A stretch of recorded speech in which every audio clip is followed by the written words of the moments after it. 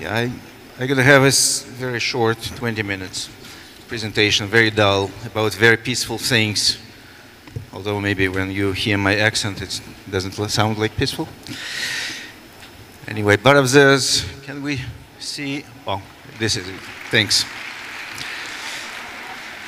Uh, I'm going to tell about a small subdomain of today's application of artificial intelligence, which is smart mobility, and even smaller part of that, which is called autonomous driving. But uh, I want to talk about it because we believe that this is a real, real big changer. Uh, when somebody asks you, do you like driving? How do you like driving? You always think about something like this. A typical automaker presentation showing you a car going into a highway somewhere to the mountains or the sunset. Uh, but the reality, as we know, is a little bit different. And in general, we all know that in our everyday experience, driving is very, very bore, boring, tiresome experience. We believe that a big change is coming, and it's coming very soon, sooner than we expect. And this big change is of, is of this huge caliber. Just a hundred years ago, we had this huge ch change, huge revolution in, in the mobility industry, where just in less than 20 years, we switched from this to this, from horses and carriages to full streets full of automobiles. We believe that something like this is happening now because today's technology, today's hardware, uh, just compute, which we already have, sensors, which we already have, is enough, and of course the software which we add to this is enough to provide a solution which is, a which is something completely different to what we have in driving today. If you install a compute device in your car, if you install several lidars, lasers, several radars, and several cameras, you get, and you add a software, you get a solution which is, which is, which gives you autonomous. Uh, for those who want to, un to, understand briefly how it works, just four components. First, the car needs to understand where it is with the very precision quality, just one centimeter precision. The car needs to know where it is. The software does it. The car needs to understand what's around this car. And this is more or less what you have in your uh, adaptive cruise control. Cars around you, pedestrians, uh, scooters, buildings, traffic lights. Then the most challenging part is to predict where the, this car will be in the next 10 seconds, or that car will be in the next second, or what happens in the next millisecond. And the last part is just to, to give you a route to go from here, knowing all this, how to get from point A to point B. Uh, people don't believe that it's coming very soon.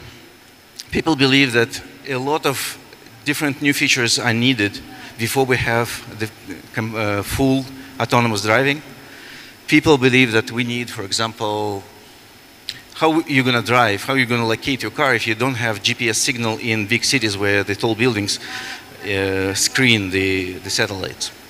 We don't need it.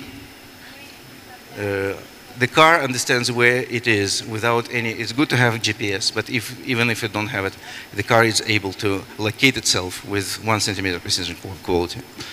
Then people would say that uh, how you're going to drive when you don't have special infrastructure, when, when the roads are as they are today. We don't need it. Uh, the automated driver which we're building will be driving just like us humans, just a little bit better, on, better. On the same streets with no special infrastructure. It's good to have it, like it would, it would be good if uh, the traffic lights would emit, in addition to the colors, uh, red, yellow, green, they would emit some frequency to tell the car that it's red now. But even if there, if there is nothing like this, nothing additional, the car is able to understand that this is green or this is red. And finally, people would say, well, but you don't have connectivity everywhere. How you, you're going to drive in the areas where there is no connectivity? We don't need it. The algorithms are built such that the car is completely um, autonomous. It's good to have it, connectivity, and from time to time we're going to have it, but it's not necessary. Uh, by the way, that, that was a real ride in Las Vegas uh, almost a year ago, but when we started, it was like less than three years ago. It was uh, the beginning of 2017. It looked like this. It was the first prototype. Uh, we started to deploy and testing it, and uh, by May, we put the first car on the street. By December 2017, we were able to drive on public roads. That was a big milestone. We just put our cars, cars on the streets, regular streets of regular Moscow weather, and the car was, dr was uh, driven by itself. You see the safety engineer there, but he doesn't do anything.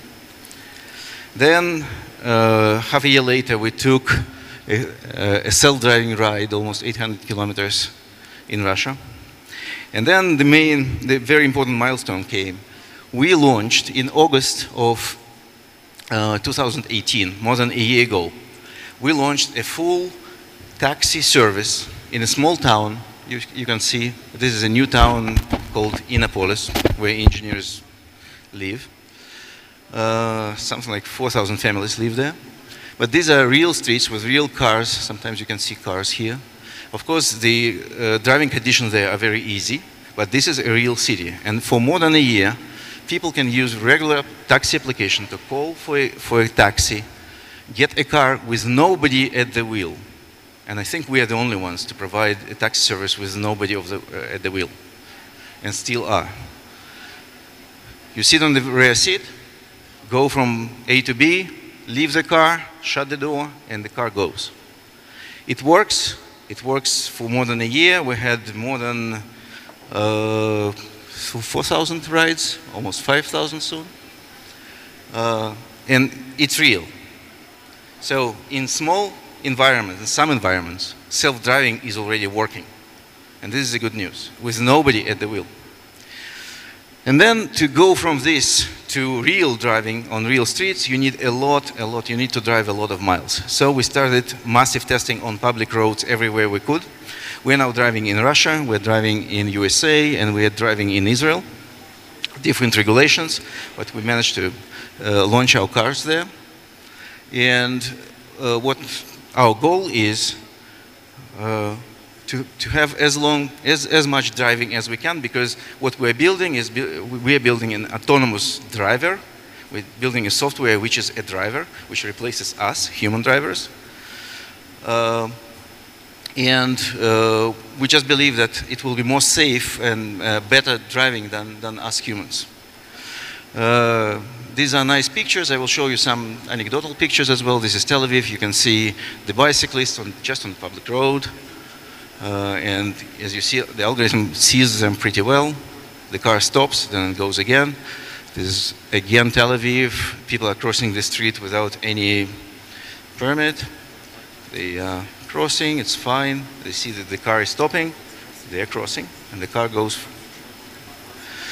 This is when you drive at 90 kilometers per hour, you can have somebody crossing your lane from left to right. That's also okay.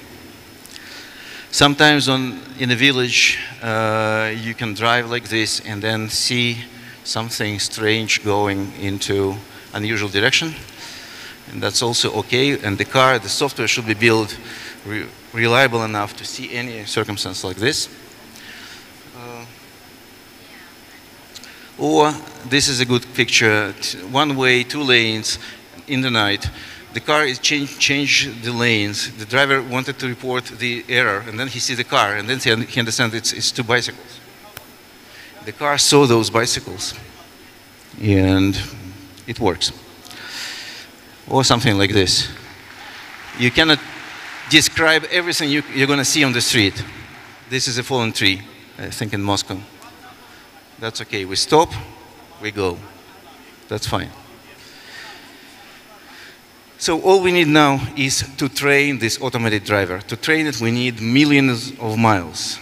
So far, we, uh, we drove more than 1.5 million of miles, which, uh, which, is, which uh, places our company in the higher league. There is only four or five companies in the world which drove these many miles. Uh, to, dr to drive these many miles, we're building the fleet. Currently, we have 50 cars uh, driving on the streets of Moscow and Tel Aviv. We're going to have 100, uh, 100 cars by the end of this year. And the goal is to drive 1 million kilometers a week. This is, this is what we, we're going to achieve uh, next year. And now, so technically, technology is there.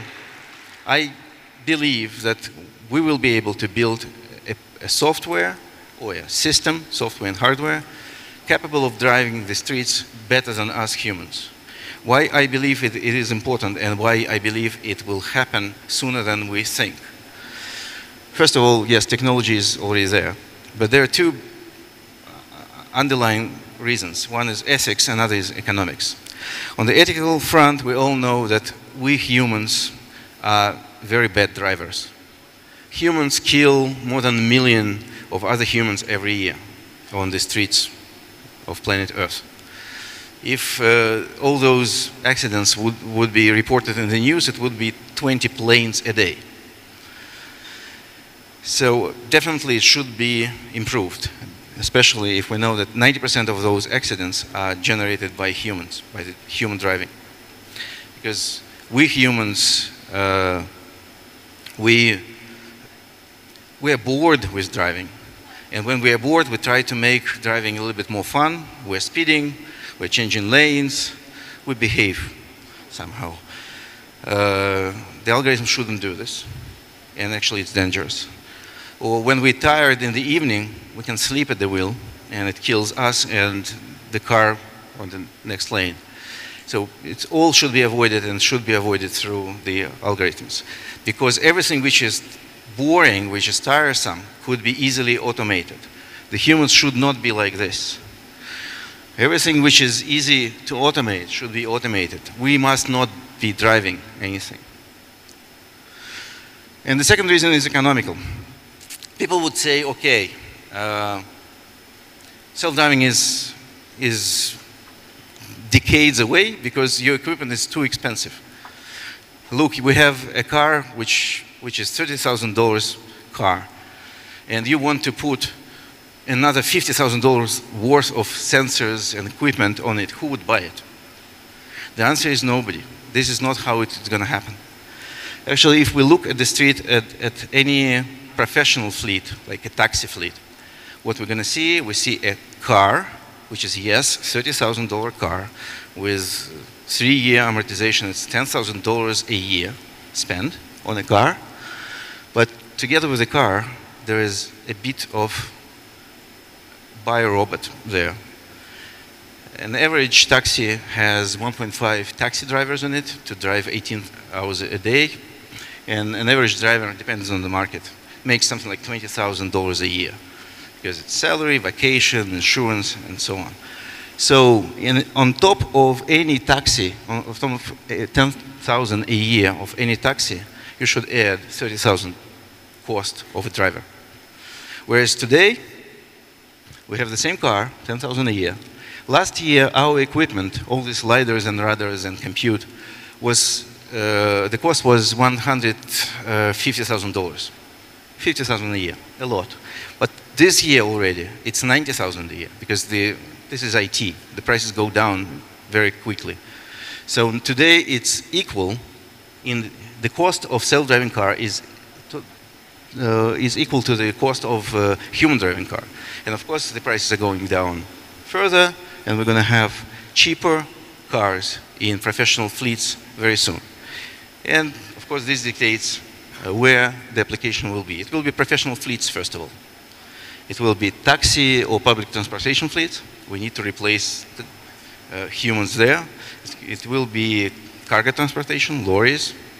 And the third thing is not so obvious we need to replace the couriers. The courier is the least paid job in the world. Only students or pensioners can afford this. But this is the, the largest spent uh, item in any delivery system. So we cannot make it cheaper, but this is very expensive. So anything which replaces the couriers will be economically viable.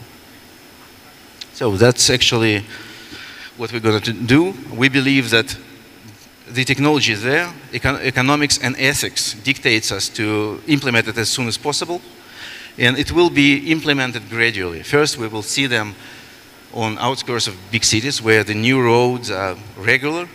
Then we will be operating some specific districts of the cities, and then finally we go, go to the centers. But to, to achieve this, we need a lot of training.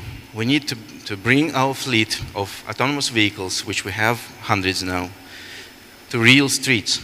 And here we face regulation. There is competition between the companies for technology, but there's also a competi competition between the countries for regulation. Those countries who regulate it the right way will be the first to have this technology on their streets. And that's why we're here to ask this question. Maybe uh, Armenia should be ahead of American regulation, ahead of China, or ahead of Russia. Actually, these are three markets which are more, more or less regulated for self-driving now. So let's do something here. Let's take it down, make it self-driving. And then it should come to this the drive, boring driving in traffic jams or whatever on, on streets when taxi drivers sh should not be working 12 hours on the streets, should be automated drivers. Uh, the streets will be given to automated and us humans will be driving only when we wish to drive. Something like this, nice and beautiful. And actually this happened, this exactly happened at the previous revolution 100 years ago. This is what happens with horses now. They used to be a driving force on the streets. Now we're just enjoying horses. And by the way, today there is almost 60 million horses in the world, more than there were 100 years ago. So let's enjoy the driver. Thank you.